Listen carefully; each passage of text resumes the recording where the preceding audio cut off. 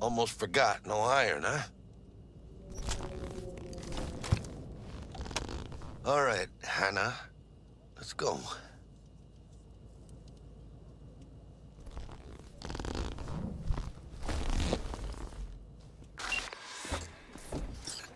Hold on. Let me grab the flathead.